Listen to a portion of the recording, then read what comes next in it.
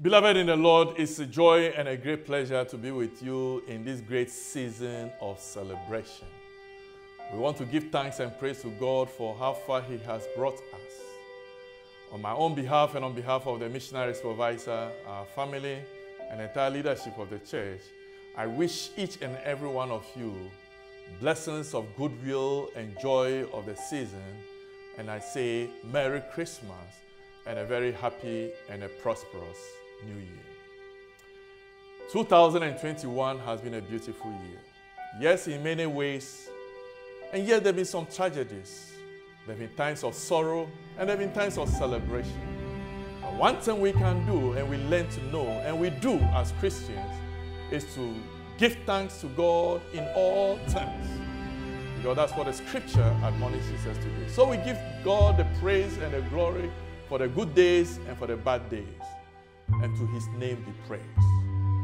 Beloved in the Lord, as we transition into 2021, many of us also still have some anxieties. Many of us are concerned. Many of us are worried. Because when we look around us, we see a lot of brokenness. We see a lot of people who are bruised, families that are broken, children who are torn apart, disarray all around us. But, beloved, in the midst of chaos, in the midst of disarray, we can still find beauty. And we can only find beauty and appreciate this beauty if we learn to trust in the Lord with all our heart and lean not on our own understanding. And as the scriptures say, in all our ways, acknowledge Him, and He will direct our path. As we follow the leading of the Lord into the new year 2022, I believe that God has a special place for each and every one of us. All we've got to do is to look up to Him for strength and direction. Because we didn't come this far by our own way, we didn't come this far by our own strength nor by our own mind, but we've come this far by faith, leaning on the Lord. We can only learn to trust in His holy way and put all our trust in Him, like the hymn writer said, and God will surely grant us the grace to abide.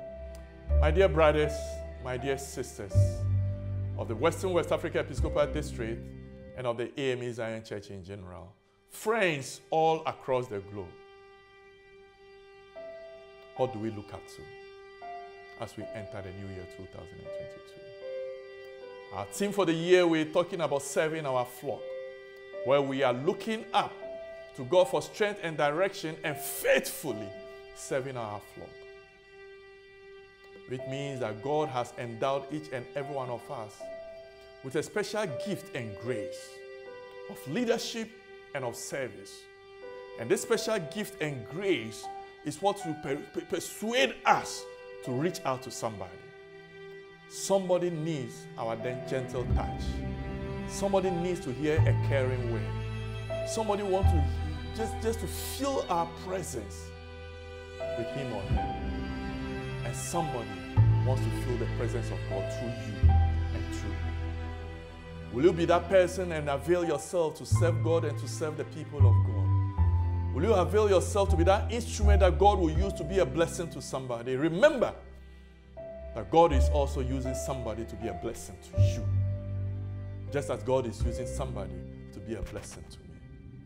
My dear brothers, my dear sisters, let us look up to the new year. Embrace the new year with courage, with determination, and with faith. And as we go through the year, focus on God and the things of God, knowing that He is the author and the finisher of our faith, the beginning and the end. And with Him, all things are possible. So there may be obstacles as we go into the new year, as we go through the new year. There may be mountains to climb, there may be valleys to go through, there may be rivers to cross. But with Christ by our side, we will surely prevail over our storm. My dear brothers and sisters, not only do we have to keep our focus on Him, but everything that we do, let us be faithful. Let us be faithful in our worship of God, in our service to the church and to the things of God. Let us be faithful in our vocations. Let us be faithful even in our relationship with one another, and our relationship with ourselves. Because we cannot separate faith from faithfulness. If we keep our faith in God, that faith must be reflected in our actions by our acts of faithfulness. Yes, as we proceed, storms may arise. But, church, don't be discouraged. Don't be discouraged. Just stand firm. Just stand firm. The storm may roar without you, your heart may low be laid, but remember that He is round about us and we cannot be dismayed. So stand firm in the Lord, stand firm in the faith.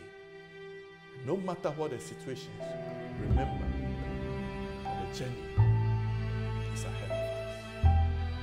If Christ is in charge of your journey, He will lead us to that faithful, brilliant, and glorious destination. My dear brothers, my dear sisters, I wish each and every one of you a very blessed and a prosperous new year. But remember to keep the faith by staying focused, serve faithfully,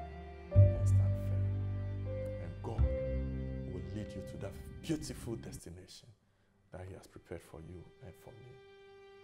Grace, mercy, and peace be unto you. And as you well know, I cannot end this greeting or this message without a beautiful hymn of the church, reminding us that in heavenly love abiding, there's no change that our hearts shall fear. And safe is such confiding, for nothing changes here. The storm may roar without me, my heart may low be laid, but my God is round about me.